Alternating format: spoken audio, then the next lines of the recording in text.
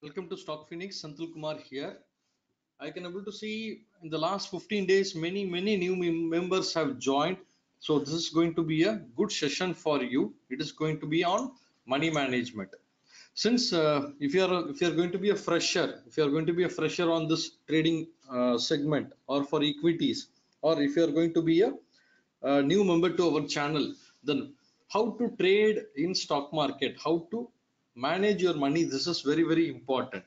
And also you should know what type of client you are what type of trader you are how much you should invest how much you should trade how much you should do for intraday. So these are the things are very very important in stock market trading either it may be equity or commodity trading. And also very very important is emotionless trading. That means if you are going to take 2 rupees of stop loss then you should wait and take 3 rupees of profit from the market. While taking 2 rupees of stop loss if you take 1 rupees of profit the risk and reward ratio will not get matched. So that is what we are going to discuss in this session in detail and it's going to be a little bit short session only. So let's see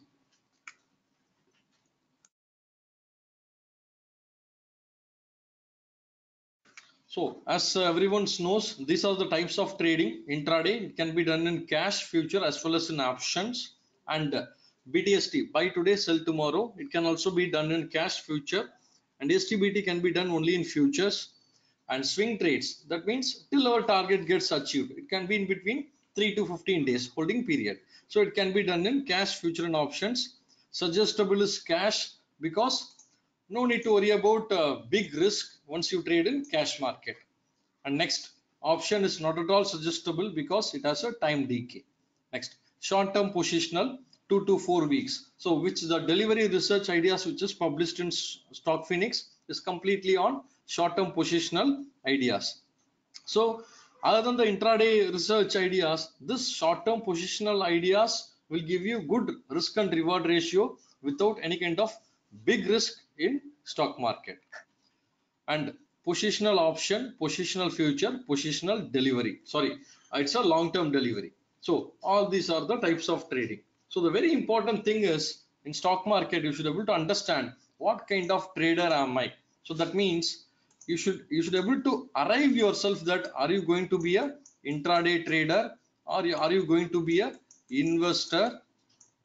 Or you are going to be both so this is very very important. If you are going to be a, uh full-time employee in between if you are going to be a for a full-time job in between 9 to 6 if you are going to do a full-time job say like you are working into some companies or you are uh, doing some kind of business where you don't have time to uh, watch the market sit and watch the market completely then intraday is not your cup of tea. You cannot able to do you cannot able to even you should not even think of doing intraday business because that stock moves in a fraction of time where you have to book your profit immediately and you have to book your losses immediately by following the stop losses. So this you should be able to arrive. Then if you are going to be a 9 to 9 to 6 pm employee then you can be only as a investor.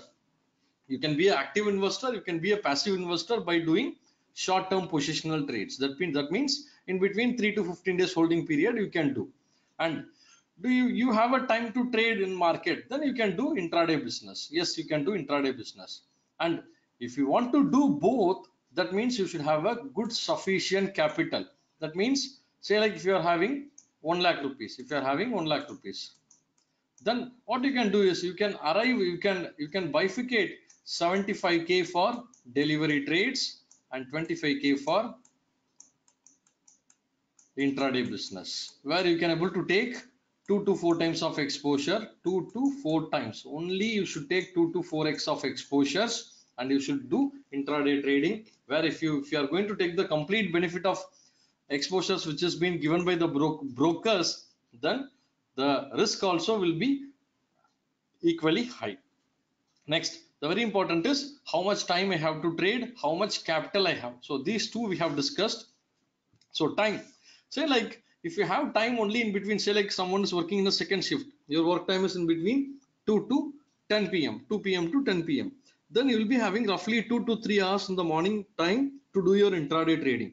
Then you should be prepared with your stocks with your trend and you should trade only in that stock. Then only you can be a successful trader. If you start running behind the stocks you will be keep on running behind the stocks. You cannot make money at all. So you should arrive the timeline and you should start your trading plan. Next is how much capital i have? So how much capital i have is a very very important question. Someone who is having a capital of 25k 25k you cannot able to take the positions who is having a capital of 5 lakhs. So what happens? 5 lakhs who, who someone some of your friends or colleagues whatever it may be. So whoever is having a capital of 5 lakhs he can take a risk of 10000 rupees as a stop loss he can take a risk of 10000 rupees as a stop loss where he'll be losing only 5% of his capital. But in the in case if you if you if you uh, take a in the in this case you, he'll be losing only 2% of the capital. Where if you take a stop loss of 10000 rupees where you'll be losing almost 40% of the capital. So following someone also will not work. It's not only someone following a tip provider so say like if you follow a tip provider what happens? He blindly gives a calls in future options everything. Uh, say like they starts work on the probability. Out of 10 calls out of 10 calls 6 may hit profit and 4 may hit stop loss. So unfortunately if the first four calls whatever he has given in the first half of the market if it is hitting stop loss due to the trend reversal what happens? The calls which you have taken will end up with loss and at the end of the day he'll show you as a profit that i have given 10 calls and 6 calls is profit and the profit is 10000 rupees 20000 rupees in the eod market. So following someone is very very important. That is not possible. You should not follow someone who is having a higher capital and also having a lower capital than you. Next how much risk i can take? So this is very very important. Before every trade before every trade before you enter your uh, before you put your order you should know that what is the loss fix what is the maximum loss i am going to take for this particular trade. Say like for example you are having a capital of 25k you are taking a exposure of four times. So your intraday positions will be on 1 lakh rupees. 1 lakh rupees. So when you make your positions you should be very clear that the maximum risk i am going to take is only 1000 rupees. So in case if i lose 1000 rupees i'll quit this trade. I'll quit this trade. You are not clear about your risk and also how much profit i want that is the reward. That means when you are ready to take a stop loss of 1000 rupees with a capital of 25000 you should be able to take a profit of 1500 rupees on an intraday business. Then only your risk and reward will match. Or else you will be keep on doing trades and brokers will do bro brokers will gain brokerage but you will not end up with a profit at the end of the month. So these are the very important five factors you should be able to understand before you enter into a live trading. Next. So these are the very basic disciplines which is required for a stock market trader follow stop loss. Remember that stop loss is your friend. As i told you uh, out of a capital of 25k so when you when you know that i am going to lose only 1000 rupees so that proportionately at that level you have to put your stop loss. And when your stop loss hits you have to exit the position at any cost. If you don't exit the position instead of losing minus negative 1000 rupees you will be losing ending up with 4000 rupees 5000 rupees negative where 20% 30% of your capital will be depleted on the same day. So do not do that. And very very important is do not do more than two trades in a day. What is this? That means if you are going to do even two trades in a day there is 21 trading sessions approximately into two. That is you are going to do 42 trades in a month.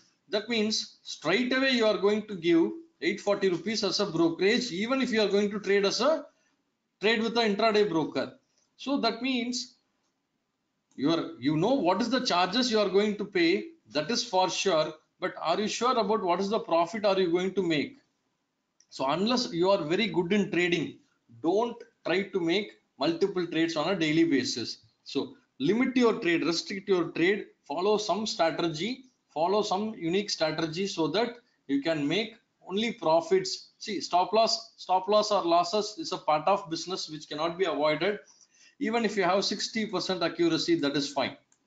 That means when you take 10 calls when you take 10 calls even 6 calls is giving profit that is fine with a risk reward ratio of risk and reward ratio of 1 is to 2 or 1 is to 3 with this risk and reward ratio even 60% accuracy is good so ideally our accuracy is almost around 70 to 80 percent.